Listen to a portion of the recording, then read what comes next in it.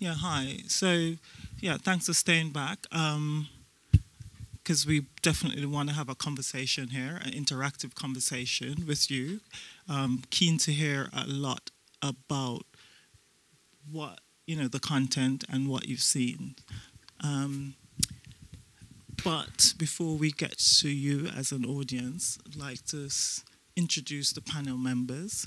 Um, to my far right, it's Nadine Marsh Edwards. She's um, a producer um, mainly.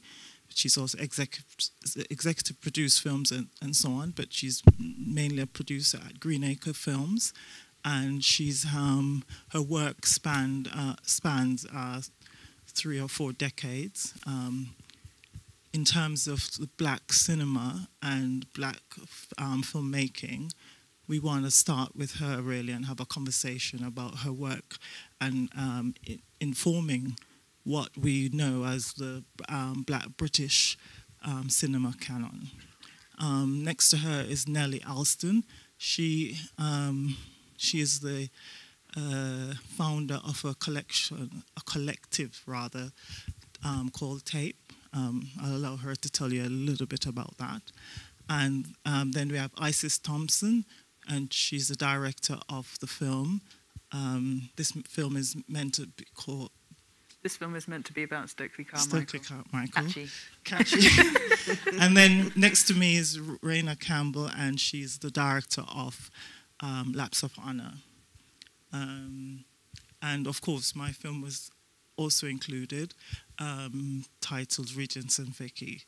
Um, so, okay, let's start with the, title of this panel, which is um, this um, Why We Are More Than Black Filmmakers. And in terms of the title and responding to the title, I want to talk about uh, the black British cinema canon. And um, with that, I want to discuss uh, Nadine's work her and her trajectory. Nadine, do you want to talk a little bit about um, the definition of black British cinema? I think that came about before my time, to be honest. Um, I was a student and very heavily influenced by the work of Menelik Shabazz and Horace Ove, who'd both made feature films before I even thought about making films, to be honest. And I think um, just to go back a bit before that, I think maybe now uh, we may think we're spoilt for choice with the number of films that we can see that have people of colour, different colours in them, let alone films made by black people. When I was growing up, you literally did not see any black people, Asian people, Chinese people. You didn't see anything. The only time you saw differences, there was a horrific program on called Mind Your Language, and it was about a language school. So you had different foreigners going in. It was a comedy, by the way, believe it or not. And that's the only time you saw different types of people on TV. And for me, going to school the next day after that was awful because it meant in the school I was at, there were very few black people. And so you were basically taking the piss off for the whole of the next day because that's where you came from. So coming out of that and then deciding um, you wanted to get involved in film uh, was a really strange thing because when I, I went to Goldsmiths and I think my year was only the second year of there being a degree that was about film making, full stop. You know, it was the start of mass communications and film school. Um, so when I went there, there were a couple of other black students who were also studying, which I was amazed. And uh, just to fast forward a little bit, we decided to set up a company together without actually understanding what a company was. Uh, we used to meet in McDonald's, and there was myself, um, Maureen Blackwood, and Martina Attille, and Robert Crusz, who's from Sri Lanka. And basically, we, I asked my tutor, who was William Rayburn, I said, Do you know of any other black students doing film in London. And he said, Oh, actually, I do. One was Maureen, and I think she was here. And he said, Oh, and there's this guy called Isaac Julien who's in St. Martin's. I went, Oh, okay, uh, let's go meet him. So I went and met him. And it turned out I'd known him for years because we used to dance together at nightclubs, but we just never knew what each other did. And so we decided to, I don't know why, we, we just said, let's try and make some films. And I'd already got a job as um, a trainee film editor because it was just when Channel 4 had been going for a couple of years by then.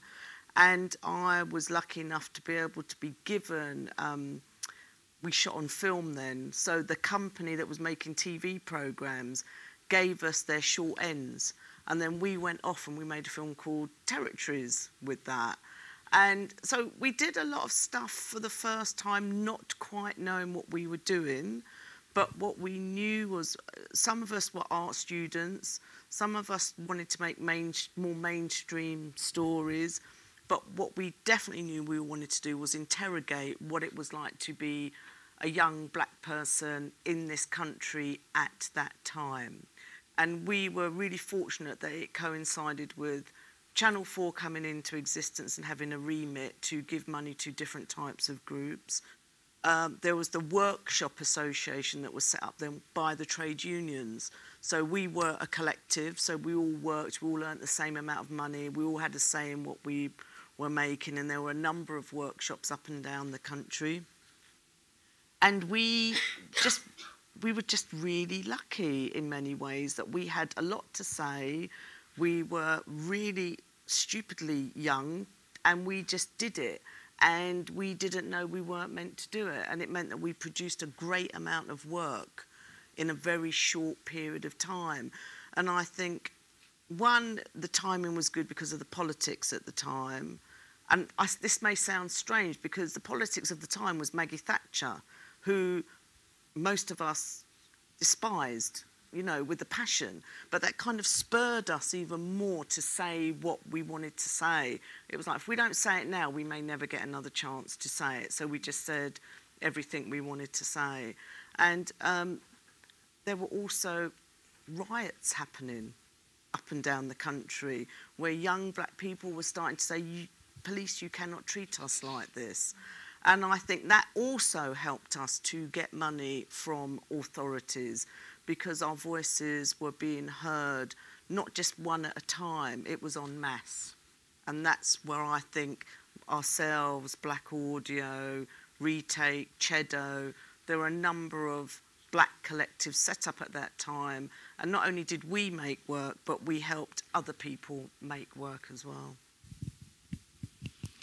Okay, um, moving across, um, thanks, uh, it's Nellie. And do you want to speak a little bit about your um, collective and perhaps kind of respond to um, Nadine's uh, discussion about what was happening back then and in terms of struggles and challenges and what you think your collective is doing in that respect about today?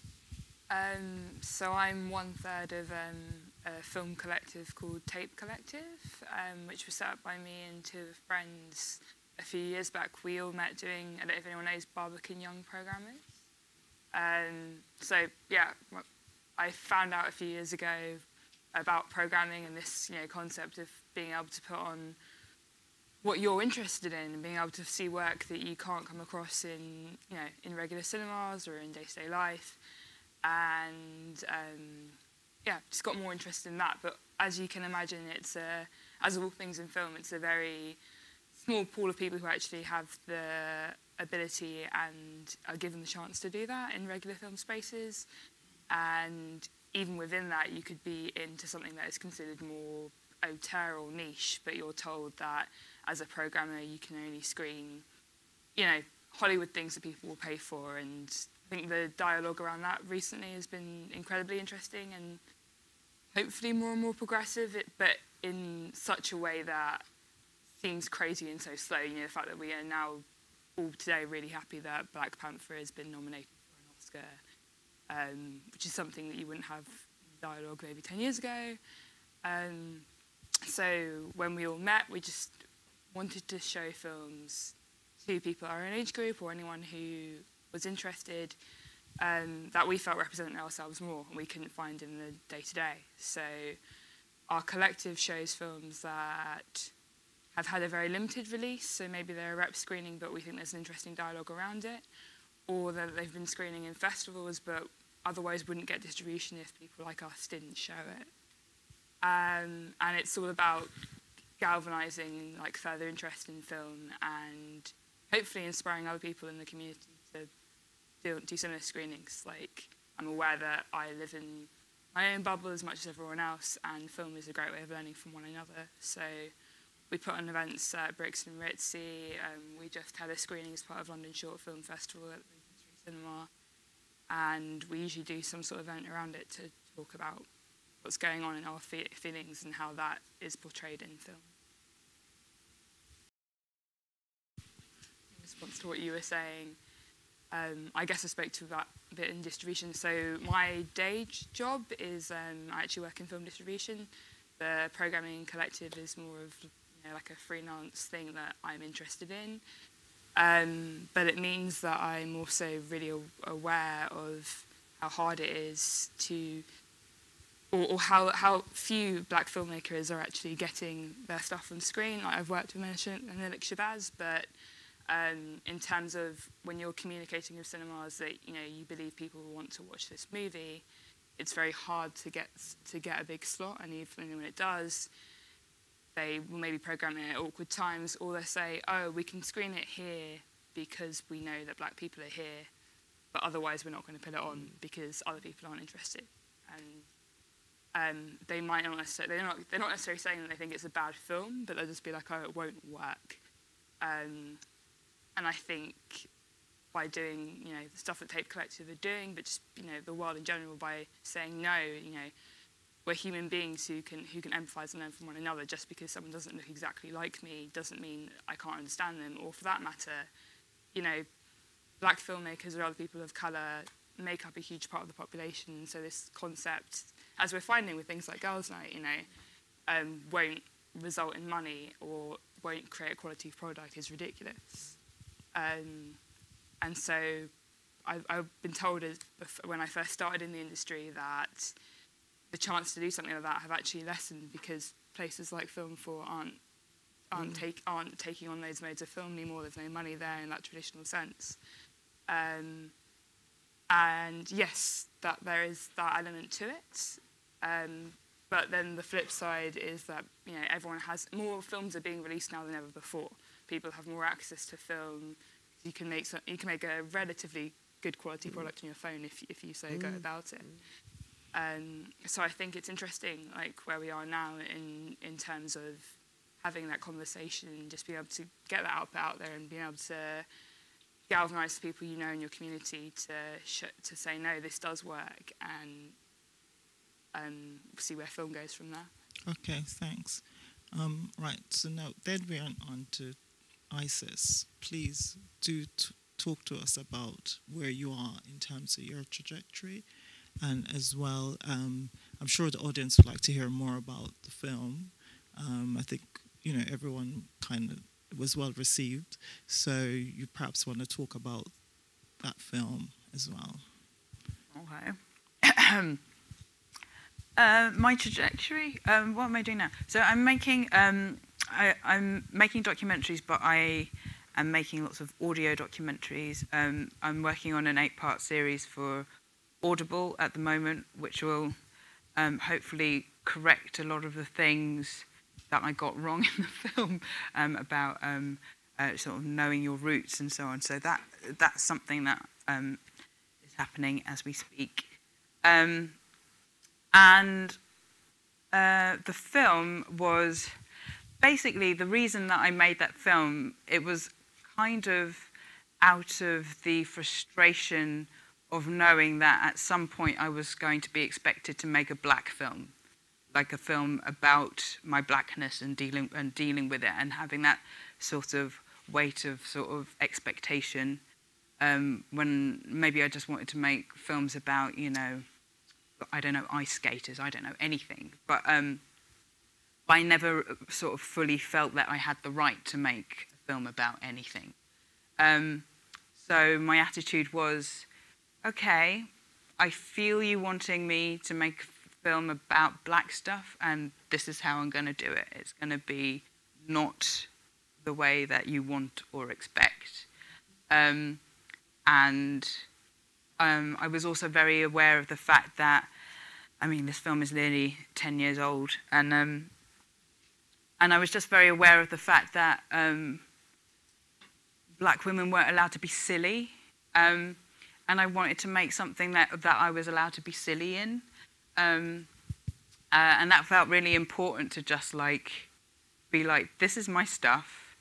Um, some of it's real, some of it's not, but I'm gonna I'm gonna play with it and see and see how it feels. Um, so yeah, it was about it was about um, yeah, it was about sort of telling people, fine, have this, but it's going to not be what you want. That was the the original reason that I made it.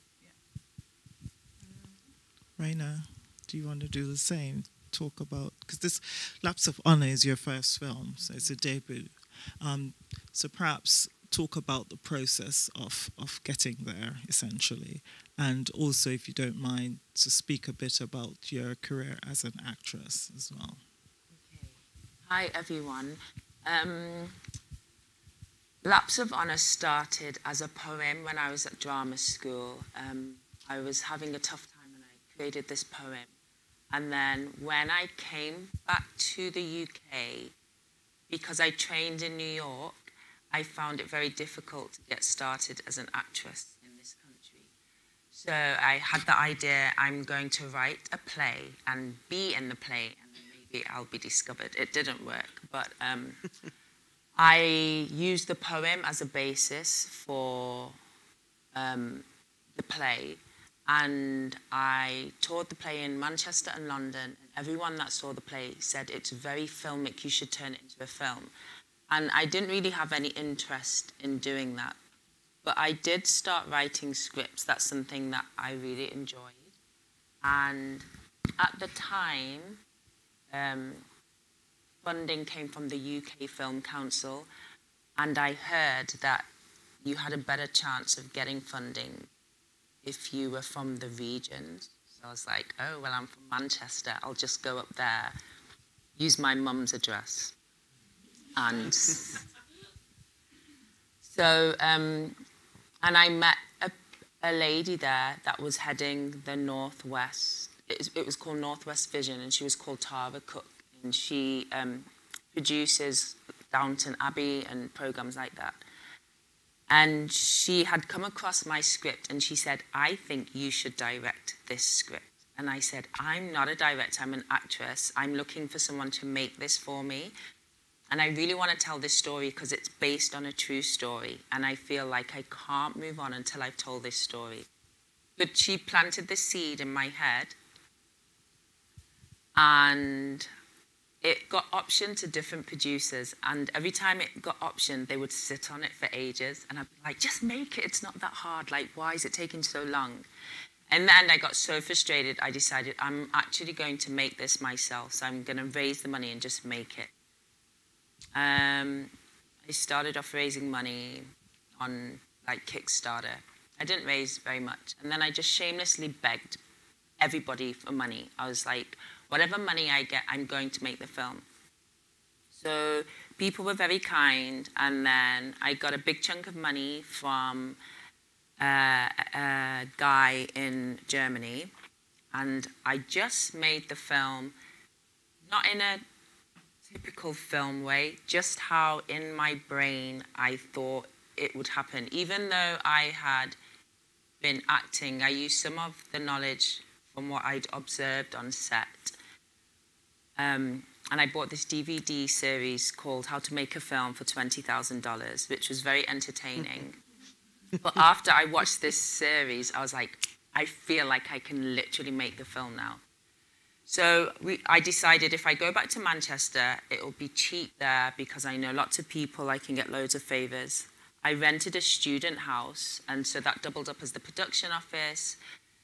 the catering, the green room, makeup, and the set. And anyone who knew me did not escape. My friend was a midwife. I was like, you are production manager. Even my grandma, she was on kitchen duty. Like nobody escaped. My mum was like, she just finished a shift. Um, she used to work in the hospital, and she came to check on me, and she ended up in like one of the funerals. So everyone came together and we made this film. I was doing some charity work with some of the kids in Manchester who were very interested in getting a foot in the door, but they had no way or means to get in. So I just used them, and because they didn't have any preconceptions, they were very natural when they were acting. And uh, Film London, when I finished it, I didn't know what to do, but Film London got behind it and um, they helped it get into some really great festivals. And I mean, this, I was just saying before, it's like when you create a film, it has a spirit of its own. So this film is a diva. So I was thinking when it's finished, I don't know if it's any good or and it was like talk to yourself. Um, i'm going to cannes. Then i'm going to the pan african film festival in los angeles and it's still traveling even now. Like next month it's going to germany. And this, this film has been traveling and traveling and traveling. So i'm very proud of it um, and now i'm putting together my second feature film which is completely different it's a comedy and um, i'm really looking forward to making that i can't remember what else you asked me no, I think you've covered it. but at this stage, I think I'll take some questions from the audience.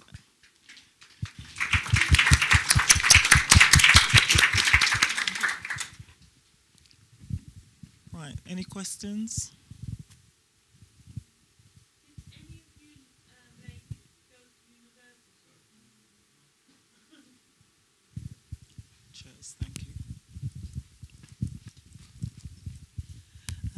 Hello, my name's June. My daughter's here, Stephanie. She's um, she's doing digital filmmaking at the moment. So I was wondering, did any of you go to university, um, well, or college to do your films before you actually made them? And if you have any advice for sort of young black filmmakers, what would it be? I didn't go to uni. So, well, I did, but not to study filmmaking. I think just do it. I think this is a brilliant time to be a young filmmaker. I think the equipment is there. Things can be done really cheaply, and I think if you get a group of friends together, you can make stuff. But I think the main thing is is to make sure you've got a good story that you want to tell. If you've got a good story, people aren't that bothered about how well it's lit or how well it's edited. People become engaged with the story that you're telling them. I think find some like-minded people and just go out and shoot. Yeah, I, I, I went to film school. Um, I went. I actually went here for my undergrad.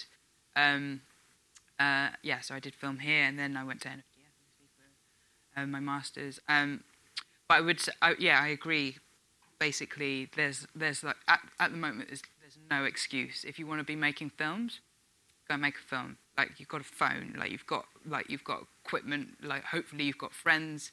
Like so like if you want to make something you can coordinate these people and you can and you can just do it.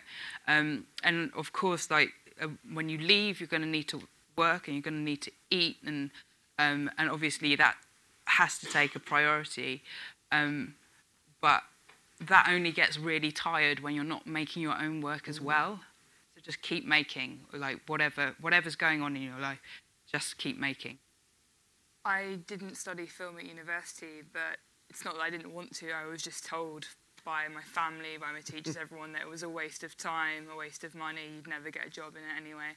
So I, you know, did the sensible thing and took a history degree. Um, but afterwards, I came to this realization that I just didn't want to resign myself to all the jobs that were being offered when I'm probably going to be working till like well into my 80s. Mm. Um, so better to try now, you know, than never. And I spent a good sort of depressing four months applying for um, lots of unpaid internships that I still didn't necessarily get because it's quite an nepotistic in film, and you you know famously say so you, you give it to the you know a friend of someone. Um, but I persevered and I got a place on an internship and got to not an internship, sorry, a traineeship, and so therefore I got um, paid to like learn the job in different film companies. So um, yeah, my advice would be to you that there's more than one way of going about it. Look into apprenticeships, whatever. You know, like you said, the equipment is there, and persevere because there are opportunities. Well, uh, mine's more of a process one, so um, I'll be quick. Um, I was just wondering, in terms of um, being so long getting onto Netflix, and, and you're you're finding a producer um, who is so well established. The process of getting, um, and and um, you mentioned about nepotism. How do you get past those gatekeepers and get to platforms where your work will be seen? My interest is more television um, and telling stories in that way. But um, I'm just curious as to how you guys got around the barriers of getting your stuff seen.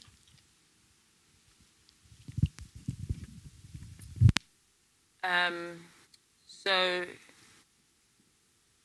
Tara Cook, she only advised me to direct the film, but I produced and wrote and directed it myself. Um, and then I presented it to Film London, and then they got behind me after that. I wrote it. You mean initially? Oh, before? Because it was attached to a producer and he had applied to her for funding. And she'd actually offered him funding for it, but he wanted it to make it for millions of pounds. And it was a low budget.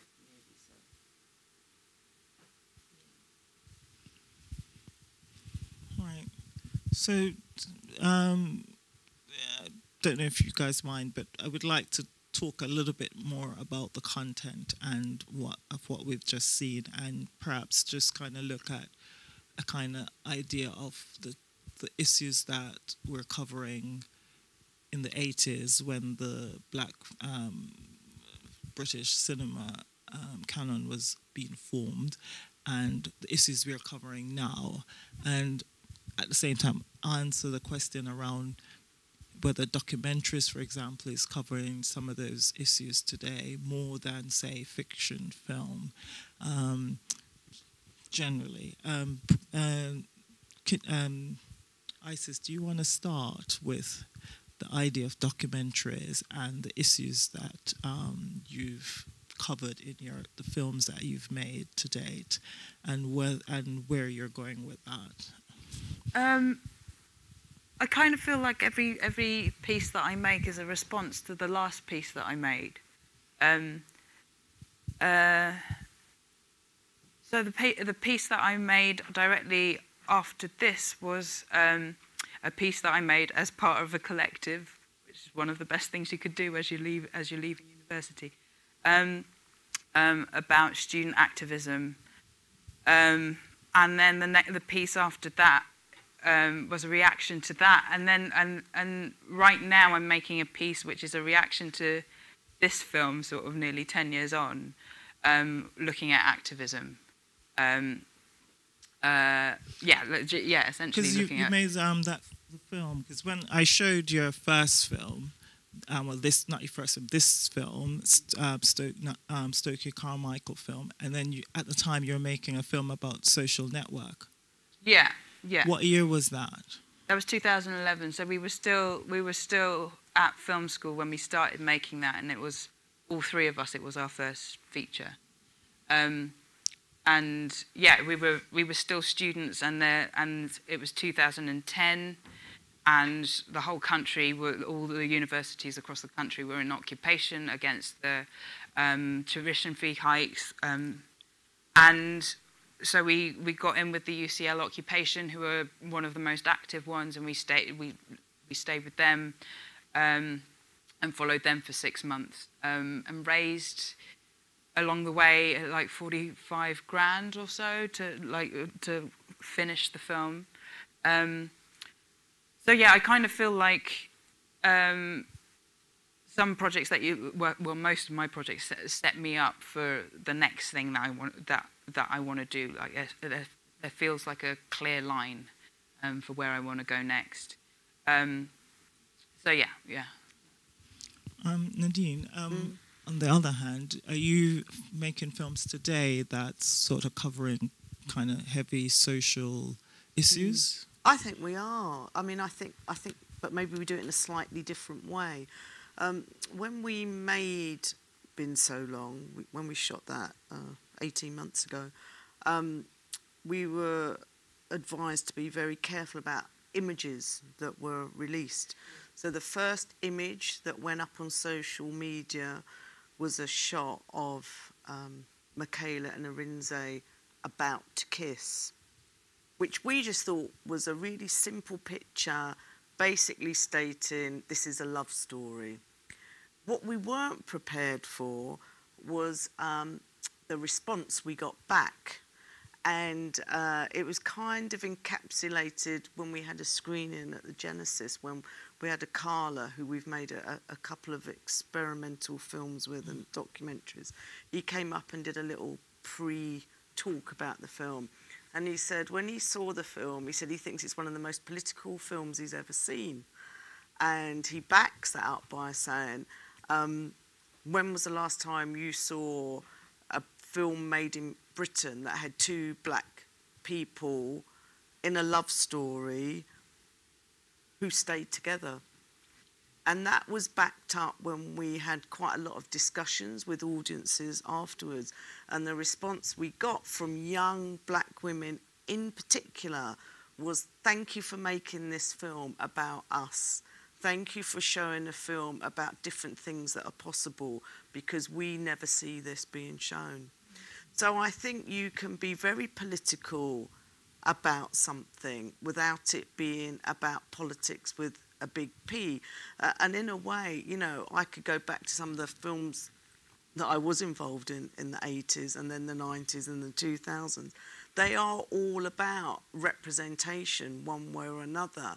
But I've been fortunate enough to go from making short films to experimental films to feature films. Then I worked in TV for seven years. And so now I've kind of got a foot in each camp and you know, I get to make different things because I've had a foot in each camp. And, you know, I think a big part of it is making sure that financiers trust you with their money because there's a big difference from asking for £10,000 to make something to saying, can you give me a few million? Because once you start kicking up into those figures, they actually want their money back at some point.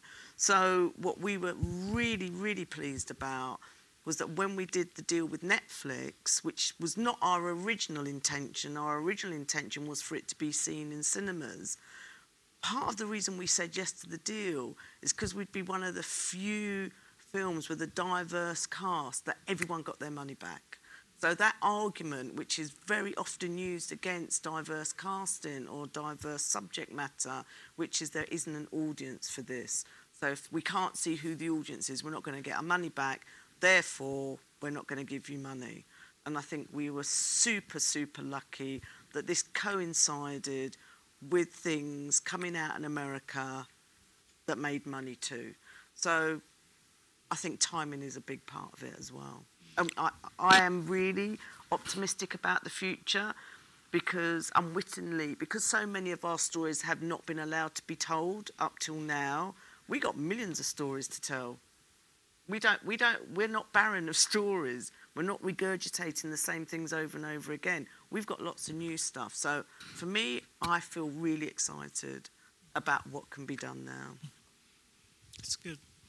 Um, Rayna, do you want to pick up on the fact that you know your film is uh, based on a true story and you know deals with certain political issues, you could say?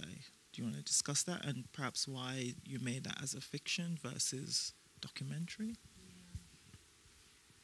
So it has a lot of themes in it, my film. Drugs and gun crime pregnancy and how your family and um, their points of view and their judgments that they have and project on you can sometimes damage you as you're growing up. Um, and everyone said, we don't want to see another film like this. We've had Bullet Boy, we've had Noel Clarke's films. But I didn't care. I wanted to tell my story. And I thought it was different anyway because um, it was based on the two central characters um, and their relationship. Um, and everyone who's seen it does never compares it to any of those films anyway. But I thought it was important. The, the, one of the reasons that I felt like I had to tell it was because the main character, he was dealing drugs, but not because he was a bad person. It was almost like he didn't have any choice. And with his limitation of what was available to him, that's what he chose to get him to a better place. And I really wanted to express that that sometimes people do bad things, but it's not because they're bad people. I needed to get that message across. Thanks. Nelly, um, so the recent films you showed as part of London Short Film Festival discuss sexual harassment, etc., etc. And in the set of films you've shown here, there's Girls Talk that really looks at a kind of your age group and the kind of voice they have. Um, do you want to talk a little bit about that? Um, sure. I, um, as she talks about in the film, um, there's a lot of expectation is about what it means to be a woman, how to present yourself. Um, I think it sort of draws into the narrative in large in film that, you, like you were saying, that um, if there is a certain film out there, it, it has to be like codified a certain way. You know, so if you have a, a film that has black people in it, it can't end well. It has to be about gangsters, and and you know this is what we're all consuming. This is what we're all brought up with, and when you and so whether you mean to or not, you you conform to these guises and you never challenge them. So um, we did a series of shorts that looked at um, sexual harassment. A lot of it was around catcalling because I was interested in the fact that it's something that should seem very outmoded, outmoded or um, or laughable. I've you know I've been catcalled lots of times in my life, but I've never seen it work. I've, yeah, I've never seen it. I've never seen anyone go like, "Oh yeah, actually."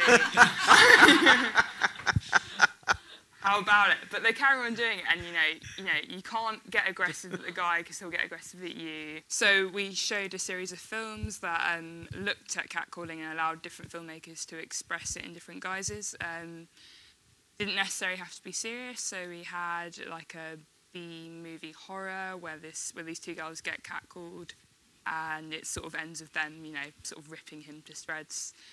Um, which obviously isn't like realistic, but it's it's you know film has this ability to get express how how you're feeling inside and and I don't know use hyperbole to express that. Um, but we also had like BuzzFeed did a series of um, women catcalling men, which you know seems like a very simple trope, but again it's something you never see in real life, and e- even in the movie like you can't help but laugh at how sort of ridiculous and surreal it is. Um, but it also felt empowering for that reason. Or they had um, guys catcalling girls, but actually calling out um, that it's their own insecurities that are having them do this. Um, and yeah, it had a lot of positive response to it. Um, and yeah, I think it had a lot of people consider the fact that this is something that happens to them in the day to day, but they they never express it. I think being a woman, there's so many ways that you can be undermined for your gender um, that you just take by the by because you've you've never been told to take it any differently. I remember telling my dad like a year ago, I met him at a restaurant. I'd just been catcalled, and it was sort of this time of year, and I was wearing like a frumpy jumper. Uh, um, and he was like, "Oh, you know, Nelly, you just can't dress sexually because you know men can't help themselves." And I was sort of like, well, like, you know, even if I've been walking around in, bikini, in a bikini, that's, you know, I'd be freezing, but it'd be my right. Like that. Like why is that your reaction to what I've just told you?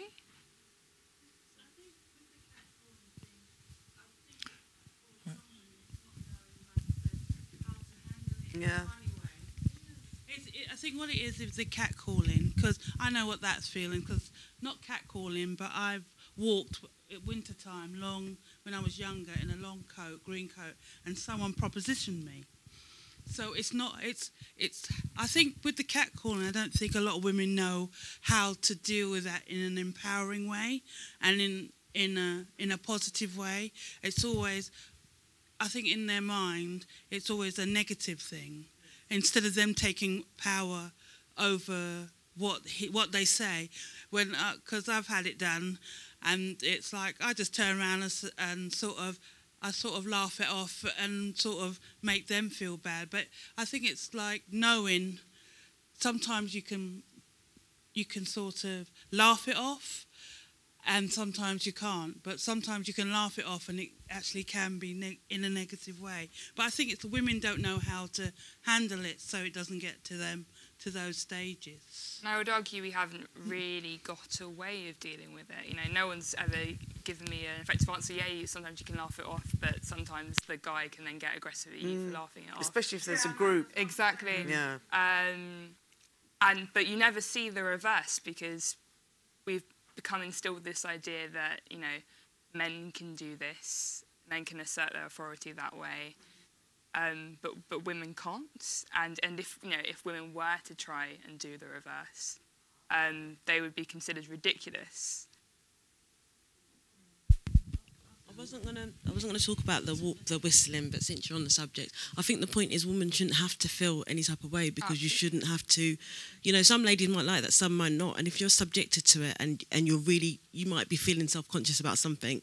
And I mean, it's happened to me. I feel really self conscious, and then you know it's going to happen. You can feel it's coming.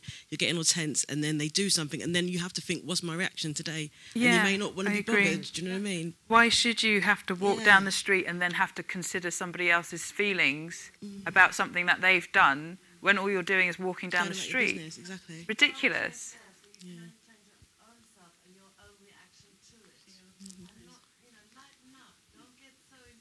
No. No, I don't. I don't agree with that. I'm not saying I'm not playing the victim. I'm just saying that if that's when that happens to me, and if I'm not in the mood for it, I'm going to be pissed off about it, and that's my right. I think the other point I was going to make, the other point I was going to make was just about what um, you were saying about seeing a black couple um, kiss on screen, like in a UK film, not been seen, and I, it, you've, it's really sad because I thought back and I thought the last time I saw a black couple stay together was Burning Illusion. And look how long ago in UK and British film. film. Yeah, yeah, Yeah. And I was like, you just said that, and I just felt really sad about that because Mm. that's like, what what is the problem with seeing those films? And the other point I was going to say was, um, it does seem like we're in a, in a renaissance. There's a renaissance now of black filmmaking to have people of color, not just black as well, um, people of color, people of disabilities, LGBT, um, to have that cast in the scripts or on on screen how do we make sure that is um, sustained? How do we make sure? How do we hold commissioners accountable? Because at the moment, it's, there's a big thrust, there's a big impetus. What happens in ten years when It's a very good question because I, I was just saying earlier that um, um, I was on holiday in, in LA visiting a friend who is a writer, and a lot of and he's he's like a white man writer, and he he um, he got an email from his agent saying, "Listen." We're just dealing with some stuff at the moment. We've got, you know, we've got Me Too going on. We've got the right, like the, the sort of interest in like um, minority writers. So we're going to just leave you for a year. Don't worry, we're still interested, but we'll be back. And then, and it was just like, and then I spoke to a couple of other people, and this is something that lots of agents have been sort of saying to their clients. It's just like we have to park you, white male writer, because we've got to get these people through. And um, and and and the fact that they put a date on when that's going to be over as well is like utterly terrifying. Get your proposals in quick. Yeah, utterly terrifying. So I think there is um, potentially a problem. I think we are um, like according to the dates I was given, the middle of this year, things will start, maybe start coming apart again. Proposals get them in now, you're right. Um, but yeah, there is a there is something that needs to be done. I think like this little crack has sort of come open and a few people have been pulled through and hopefully that we can keep those people there and they'll keep bringing people through and I think and I hope that people are starting to see that not only are, is talent coming through but there's like there's so many places that you can look for stories there's so many places you can look for mm. stories mm. now and I think it's exciting and I'm hoping that the white people up top are like feeling the excitement of the of these new new new voices, new blood coming through. There's a lot of pressure for change to happen and be sustained because um, I think there's been huge leaps made in casting in the last few years. You know, we see things on TV and in film now. I literally sit down and watch programs I go, two years ago, they would not have been cast. They would not. You just know because you can tell by the names. Also, you just know. But I think now I'm part of a small group of uh, filmmakers and TV program makers who are we're putting forward a proposal to government, whichever government will be in, for a new tax break. Because our thing is about, it's not just about in front of camera, it's about behind camera and who is telling those stories and who is making the programs. And there was um, something, it was on Twitter a couple of weeks ago, because people say, oh, diversity, it's all sorted. It's all, don't worry about it. We're, we're getting there. And there's a programme on the BBC, um, which is that dance programme. Uh, best dancer in the world or something, mm. I don't know. And it's got four presenters, and three of them there are either female or black. So they've got a very diverse in front of camera and then there was put on Twitter a snapshot of the crew. And there's about 80 people in the crew, not one person of colour. So there's still, let's not be fooled and lulled into kind of thinking it's all okay. There's still a lot of work to be done. There are some people who've really working hard to make it happen. Not everybody who makes programs is a baddie. It's not like they're going, we don't want black people to work on it, we don't want women to shoot it. There is um, a complacency, and that's why we think, you know, quite often money talks, because we've all been talking for a long time about women directors, women DOP, black people. We've been talking till the cows come home. And the, the horrific figures, and the reason I get involved in this new campaign is because 18 years when the diversity network was set up between different television companies, they worked out that behind the scenes, about 3% of crew were black. 18 years later, what's the percentage? 3%. So after all the talk and all the diversity schemes, blah, blah, blah, not much has changed. So that's why we think a carrot of money will hopefully work. I'm, it's something I'm always really scared that diversity is this sort of fad for the year because mm. I was at mm. a party, a New Year's party for 2018, and this guy came up to me and he was, he was like, "Oh, I know what the trends are this year." He was like Korean boy fashion, diversity, diversity is going to be really in this year, and I sat there being like, "How could you claim that to be a fad? You know, something that you can like put on your magazines this year and then be done with?" But I think there is a real fear of that, um, and there's no straightforward answer to it. You know, we've um. been talking about it all, all this year. We've been talking about it for generations, and even within itself, you know, you get um, black filmmakers or writers who get annoyed that the only time they get invited to a festival is to be on a diversity panel. So that can be an issue in itself. Um, so I, many diversity. So many diversity panels. Many. okay. Um, I really quickly wanted to editorialize and say I am very optimistic because um, someone up there said money talks. I think data talks, and the reason why um, there is like things have gone really well. People wanted Black Panther, and when it came along, finally, it's one of the biggest grossing films of of last year. Um, and when I'm when I say data talks, people um, commission to their or, or program to their prejudices. So if white men hold the keys. They're like, oh, we've allow- allowed enough people in. We've allowed them to see themselves. Whereas if you're Netflix and you just look at 40 million households watched um, Sex Education, which is the most colourful and diverse show ever. In less, it came out on January 11th. They're like, yeah, fine, here, more black people because data talks, um, and if you give people stuff, they'll make it. So I'm I'm optimistic because now that instead of going by what's worked before, people are going by what are people do, what's their appetite, um, and on the back of that. I listen to lots of podcasts, one of which is um, Don't At Me by Justin Simien, who um, created Dear White People, the film, and then the TV show on Netflix. He interviewed both Ava DuVernay and Issa Rae.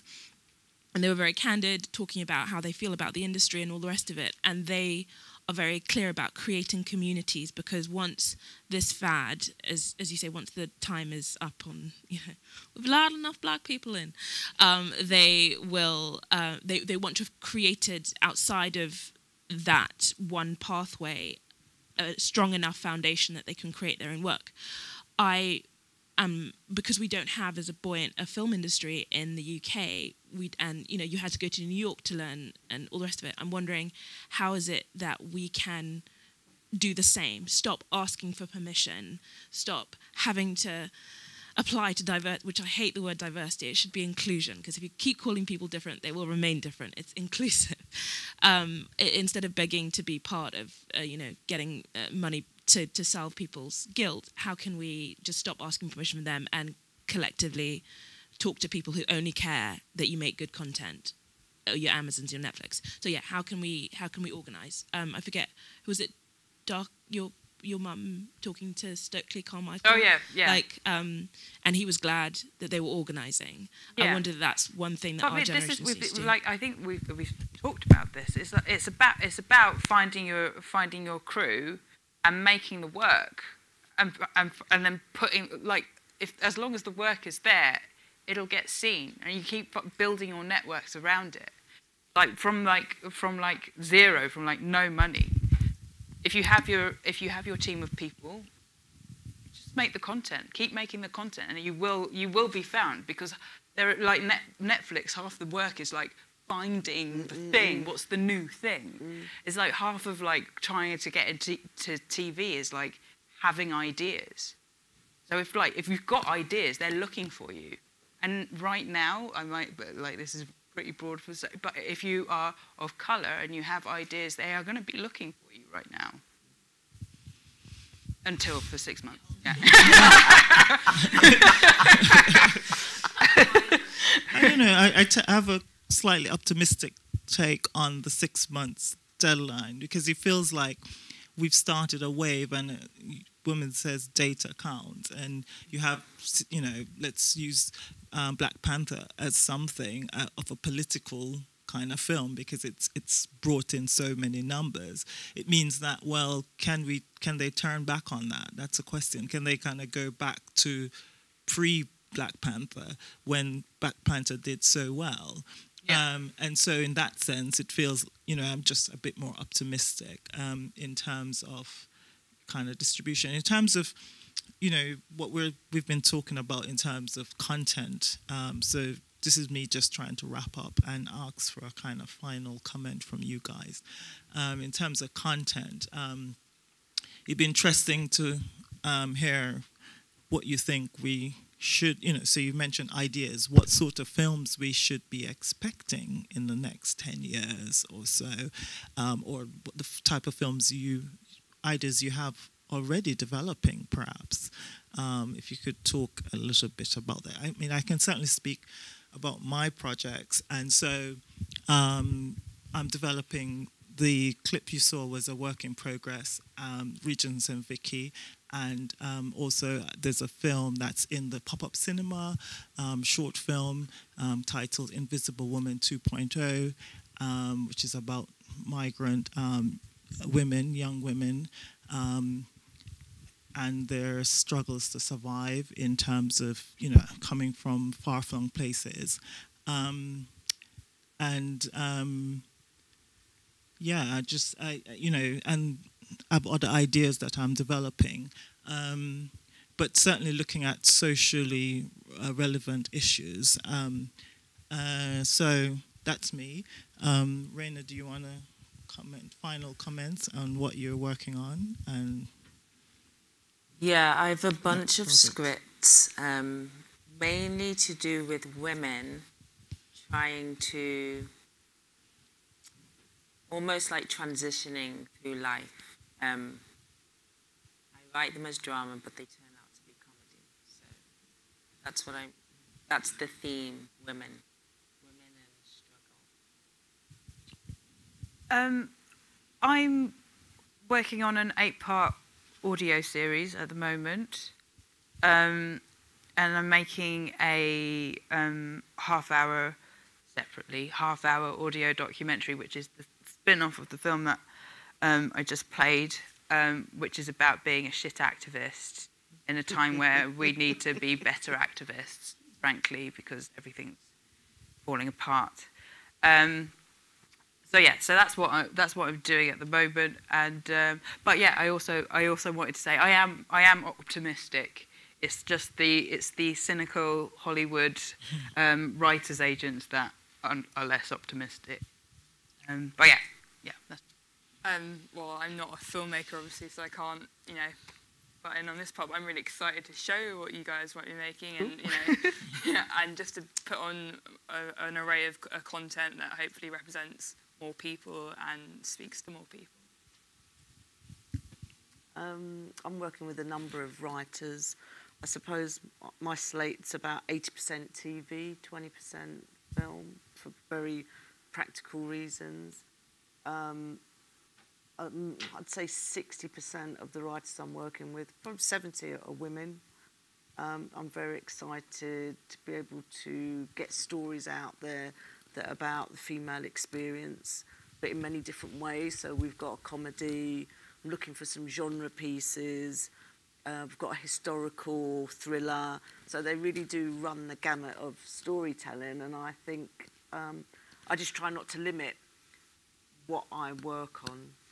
Um, there's very few things I'd say definitely no, but that's down to my personal taste. But I do feel very excited about what's to come. I am very optimistic because I think all of the old rules have kind of been thrown out the window in the last 18 months. So that makes me really happy. And it means that the conversations I have with financiers now are the polar opposite to conversations I had not that very long ago. And for things to change so quickly is really quite amazing. And I think if anyone's got stories that, to me, they're not that radical, they're just about the world that I see when I walk down the road. And it, it sort of comes as a surprise to me that to some other people, that in itself is really quite shocking. But I think that says more about them than it does about me. And that's it, guys. Thanks for coming out. Thank you. Thank you.